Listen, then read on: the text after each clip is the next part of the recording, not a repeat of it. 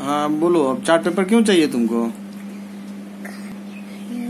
नक्शा बनाने के लिए। क्या चीज़ का नक्शा बनाओगे? खजाना का नक्शा। खजाना का नक्शा क्यों बनाना है?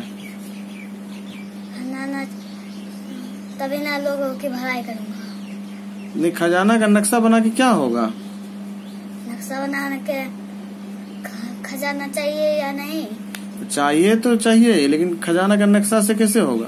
खजाना का नक्शा बनाऊँगा तभी ना रास्ता आएगा। और उसी नक्शा पे देख के नक्शा पे रास्ता का पता चलेगा। हाँ। आ, तो फिर मान लो कि खजाना ढूंढ लेते तो फिर खजाना का क्या करोगे?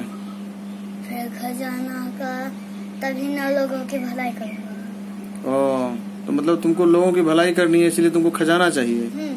और खजाना जो है उसके उसके लिए तुम चार्ट पेपर लेकर के नक्शा खुद बनाओगे? हाँ। खुद से नक्शा बना करके फिर उसी नक्शा से खजाना ढूंढ लोगे? हाँ। वाह क्या आइडिया